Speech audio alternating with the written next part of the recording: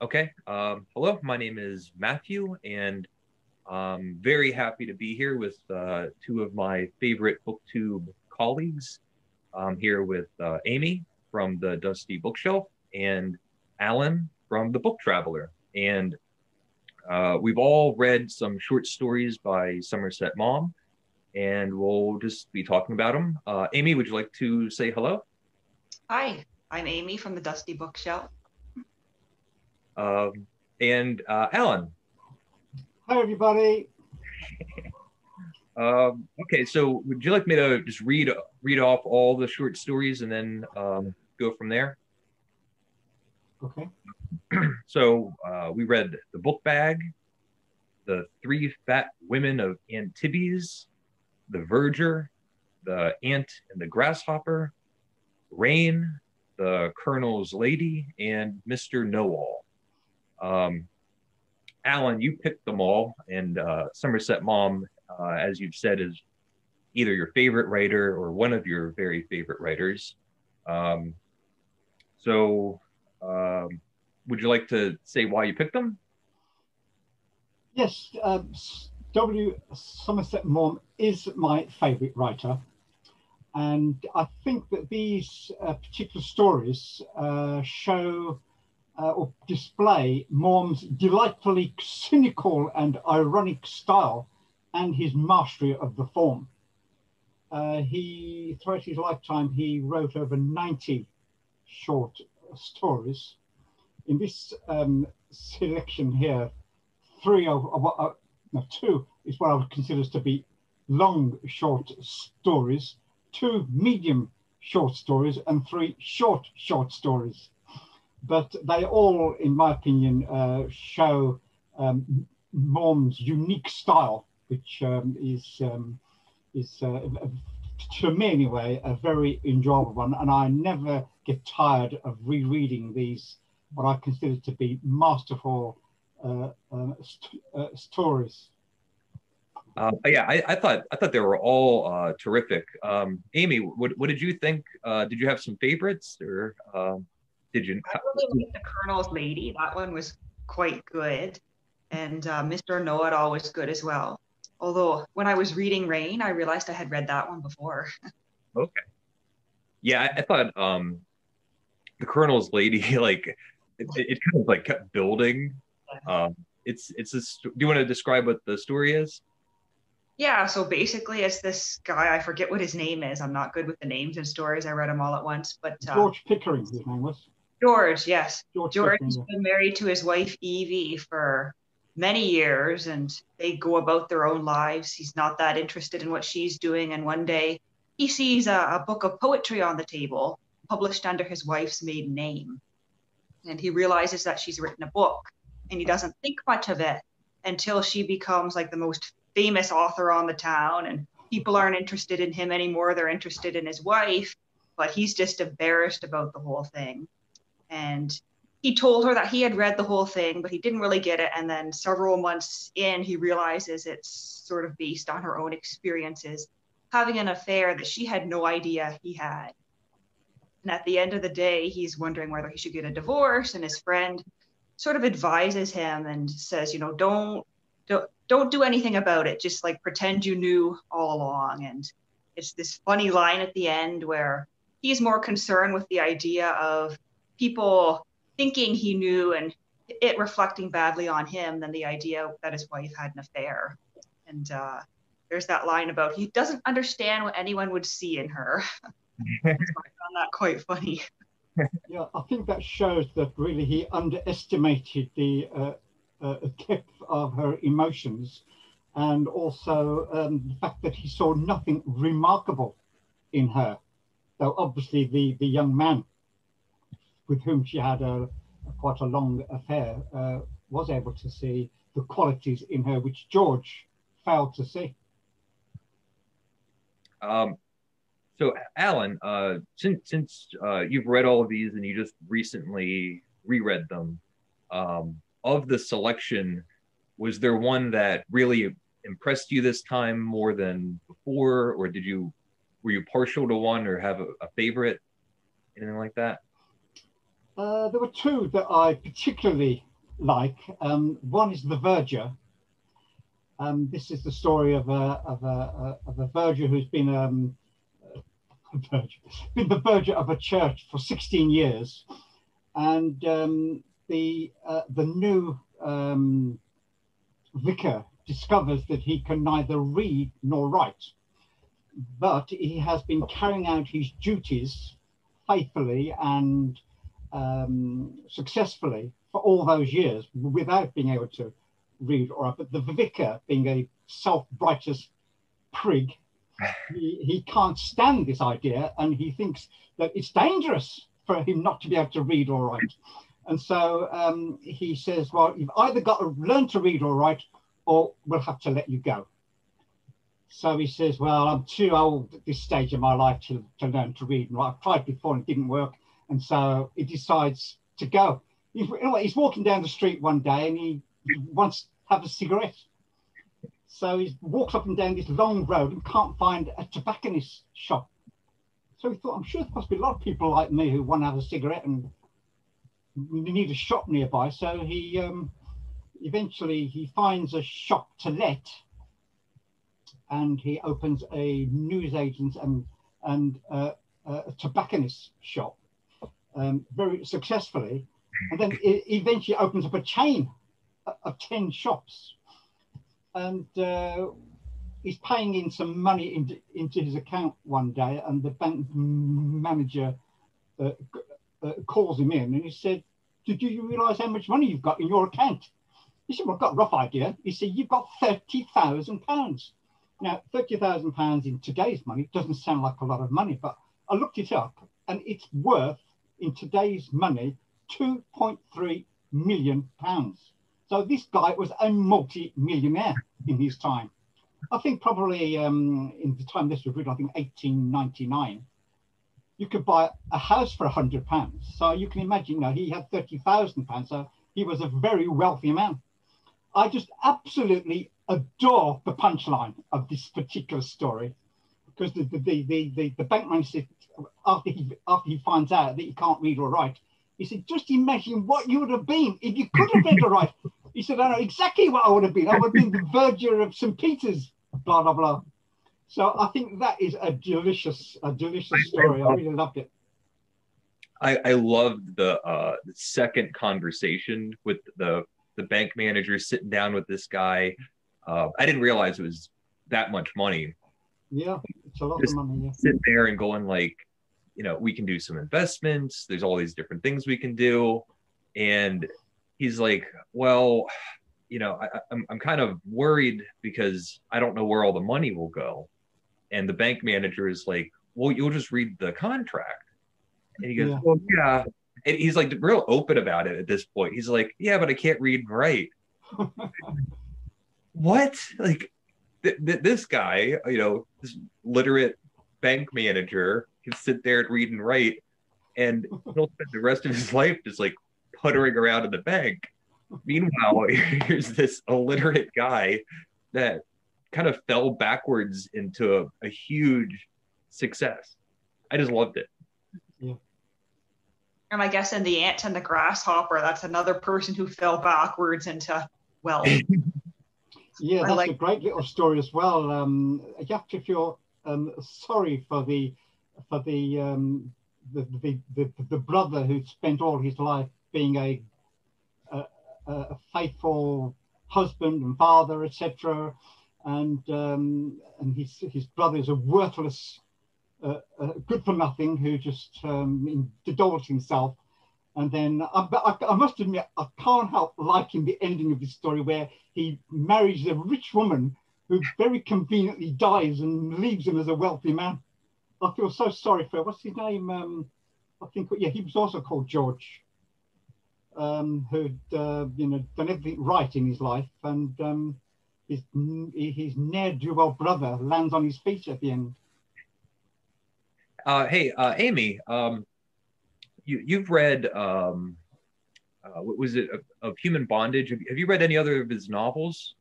Yeah, I've read a lot of them. Um, of Human Bondage, Then and Now, The Razor's Edge. Um, I think I've read most of them. what did you um did you see a difference in like style or tone between uh, his novel writings and his short stories? Not really too much. Like obviously the novels are more drawn out and you don't get those sort of snappy punchlines like you do in the short stories. And I think uh, like you you still get the depth in them because I feel like with everything he writes, he's trying to say something about society or about people.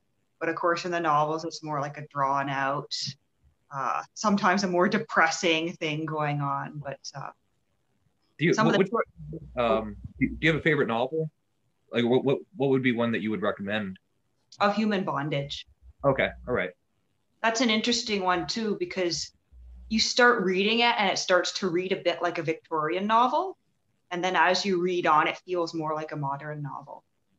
Because he starts off like with the character's childhood, like you see, oh yeah, he went to stay with his uncle, he went to school, and then we follow him into adulthood and his relationships and deciding what to do with his life and uh, that one's largely autobiographical too it's a little off topic but um, we, we both read proust and um, one, one of the things that i love is how um, like modern invention new new things kind of creep into the story like um, telephones pop up, uh, the, the carriages are replaced by cars.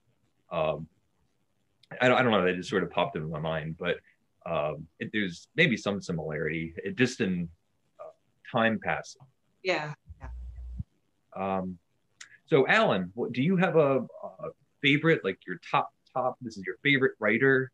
So, what's the ultimate? Well, book? I thought it was funny that um, that M should have chosen um, a human uh, uh, uh, I can't say that word, bondage, because that is not my favourite novel. I've, I've read it uh, um, twice. It's quite a long um, novel, but um, it's highly regarded as Maugham' um, most accomplished work, but it's not my favourite. In fact, um, I've read about 12 or 13 of his um, novels, I'm not sure that I actually have a favourite. I just like all of them. I don't think I've read. I don't think I've read anything by him that I ha- that I haven't liked. I think he's got a consistent uh, um, tone and style through all of his writings, including his plays, his um, his essays, his, his, novels, his short uh, uh, stories. He's got, he's got a particular style and attitude and approach that he that he takes in all of his writing, and I, I just like his whole the, the whole um, milieu that, that, that he that he creates uh, in, in in his writing. Have Have you seen the uh, Bill Murray movie? Of of what? The Razor, the Razor's Edge. Is that a recent um, production? Uh, no, I think Bill Bill Murray made it in the '80s, like around the time of um, Ghostbusters. Um, I don't recall um, seeing it. I've seen some others, um, some other versions, but um, I don't recall that one particularly. Okay. Yeah, I, I may have done. I may have seen it, but I, I can't remember it. I think I saw some version of the Razor's Edge from the 1940s or something. Yeah, probably. I did the same. And that's yeah. actually what led me to pick up his books in the first place. Oh, really? I saw that. I saw part of the TV movie, was intrigued, bought a paperback copy of The Razor's Edge, put it on my bookshelf, and didn't touch it for four years. there are several um, of Maugham's um, films um, on on YouTube that you can watch. In case you weren't aware of that, they they they're in. I think there's um, a trio and a quartet mm. that is available for you to watch, including The Verger. I recommend the, watching The Verger. It's oh, slightly yeah. it's slightly uh, changed in the in the film, but um, not by much. Is it is it is it a, like a short a short movie like a short film? Yeah, it's a short movie. Uh, I, I, can't recall maybe an hour or something like that, or half an hour. I, I can't remember, but um, it's it's in a trio of of, of uh, stories. So I can't think it's that long. Okay. So it sticks basically to the the, the idea of, of, of the Verger, but um, they just changed, just tweaked slightly for the film. Um, it's, it's, excellent. Amy, are there any other uh, stories that you like? I liked Mr. Know It All. yeah, I did as well. Mr. Know was great. That is that, that, that ending where he says he's an expert in pearls and he's looking at the, the necklace around this woman's neck and says, Oh, that's definitely real pearls, I know.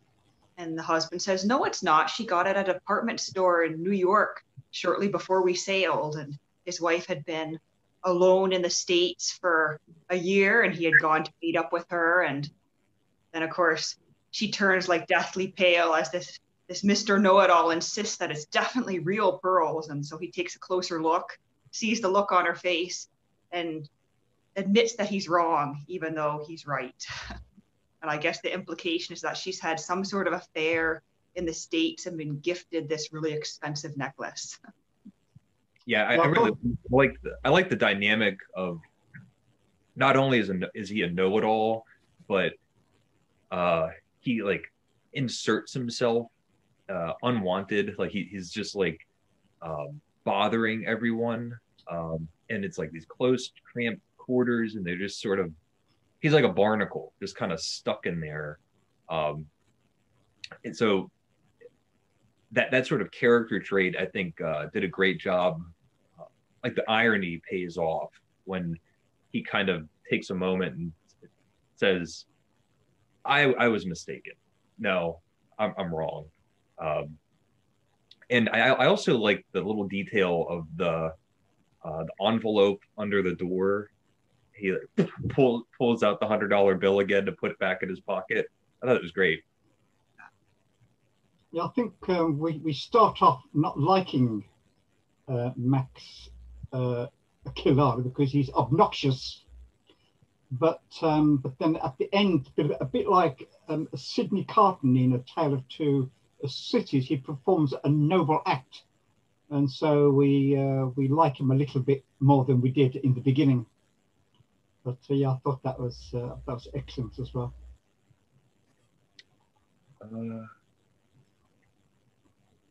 And I really like the three women of Antibes as well. That one was quite funny. what I can't understand with that is how come for 25 years they didn't eat a, a square meal, and yet they got fatter and fatter. they were they weren't being truthful about something. but I love it at the end when they absolutely stuff their faces with all these lovely things that they hadn't been eating all the years. That's like so relatable. Every diet ever. yeah, exactly. Well, what did you make of the uh, book bag? Amy? I liked the idea of the physical book bag, but the story itself didn't do much for me. Well, the book bag, I think, is just um, like um, it, it, was a device that, mm-hmm. that Maugham used to introduce the theme of his story. So if you remember, what came out of the book bag? What was the, the book that the, the, the man chose? I don't recall the title. Like the title meant nothing to me. The title was the absolute crux of the story. The title was The Life of Byron. And a bit later on, they discussed Byron and his incestuous relationship with his half sister, Augusta Leigh. That was the theme of the story. That, yep, I pick up on gave, that. That gave you the clue as yeah. to what the story was about later on obviously there was an incestuous relationship going on between the brother and the sister on, on this island. And uh, but what I can't understand is how come never got pregnant? I think these things. Um, but um, and also the other thing I can't understand is why did he get married? If he's already if, if, if, if, if he was having this long-term relationship with his his sister, I can't, can't, understand why he went away and got married. That confused me. But, but apart, apart from that, sorry, I, I just assumed that he met this woman and was actually smitten with her, and thought, well, I'm going to have this marriage like in spite of what I'm doing with my sister. And so I, am assuming he actually loved this woman that he married. Well, yes, she was young and attractive, and I'm, I'm assuming he must have fallen out of love with, uh, with his his uh, assistant decided that it was, you know, it wasn't something he wanted to carry on. But she was absolutely devastated, obviously, because she killed herself. So that's a spoiler. I hope you don't mind. Too bad. yeah. Um, Amy, Amy, was that was that your least favorite story? It was my least favorite story. Yeah. Uh, what about Rain? Or have you spoken about Rain? Rain was pretty good. That's the one that I realized I had read before.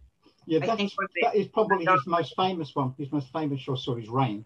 What I like about Rain is the way that Maugham used um, the his descriptions um, of the rain as a symbol for the um, the sort of implacable self-righteous attitude of the Reverend uh, D- D- D- Davidson, and of the way he well basically persecuted this poor Sadie uh, Thompson, and uh, but eventually, uh, of course, she she got her revenge effectively. Was it revenge though? No, no well, it wasn't murder, but uh, but but but she, she certainly had the satisfaction of uh, of uh, of him having killing of, him killing himself in spite of the persecution that he uh, that imposed on her. So, yeah, I think um, also the other, the other thing that I got from that is is that is that um, Maugham used Dr. MacPhail as a kind of a, of, of a, of a, a, a foil to the Reverend uh. And I think Maugham is reflecting his own attitudes and probably the readers as well to a certain um, extent in the kind of comments that Dr. MacPhail um, makes um, throughout the um, story. I think it's uh, it, it is a bit of a um, in a bit of a morally dubious mm-hmm. story, obviously. But then Maugham liked to go on the edge as far as that was concerned. But the thing I like about Maugham's writing is he's never explicit. He's never crude or rude or lewd. He he he writes in such a way that you have to um, use your imagination and experience of life, I think, to be able to appreciate uh, the, the, some of the uh, themes that he tackles. Yeah, I think uh, as far as a writer goes, I, I, I love how he's sort of like he's like he can be savage or brutal, but it's always very measured. Um, like it reminds me of like um, when, when you hear about like that English humor where there's all, all of the um, like biting commentary is in the subtext. Um, and I think he does that really well. It just seems like uh, carefully considered and polite, uh, but can really pack a punch behind it uh, instead of like how you say uh, being uh, like gratuitously crude or something. Mm. Also, the other thing I like about Maugham is that he is very um, tolerant of human weakness. He's not judgmental.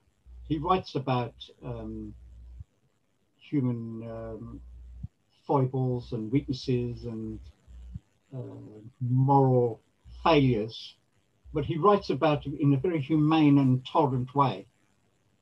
My my uh, my, my, favorite story was, was the Verger, and uh, I, I liked the idea of this basically intelligent, capable, uh, creative, hardworking guy uh, that just happened to, to, not be able to read and write. He was able to have a good job in the beginning.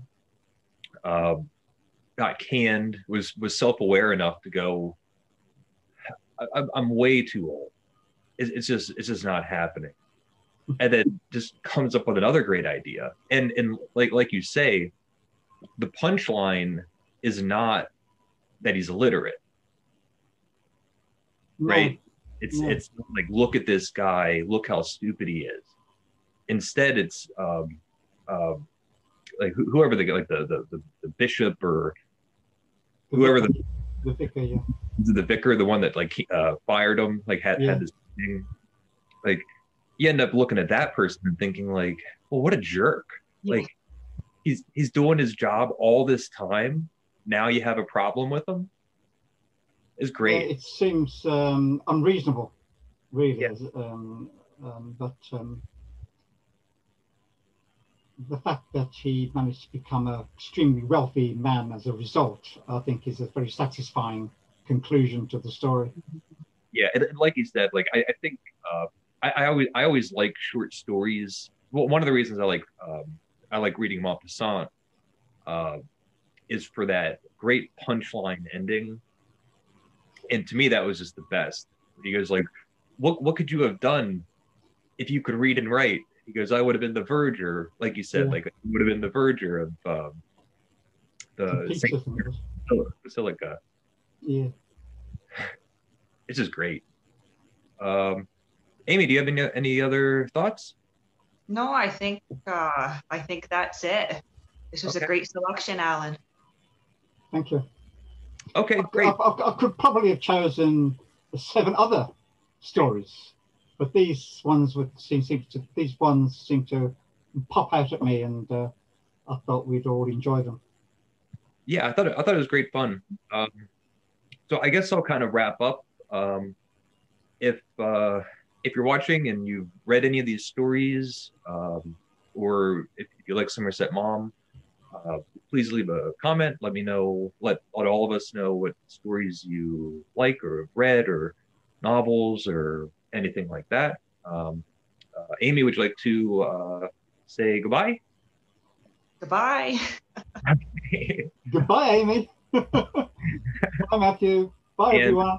Uh, so uh, th- thank you, thank you for all this, and uh, I'll talk to you Thank soon. Bye.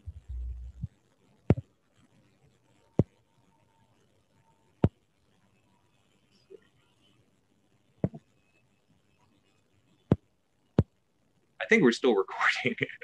Are we? Uh, Technology. It's the off button. I'm looking for it. Press the off button. I think this will have to be an outtake.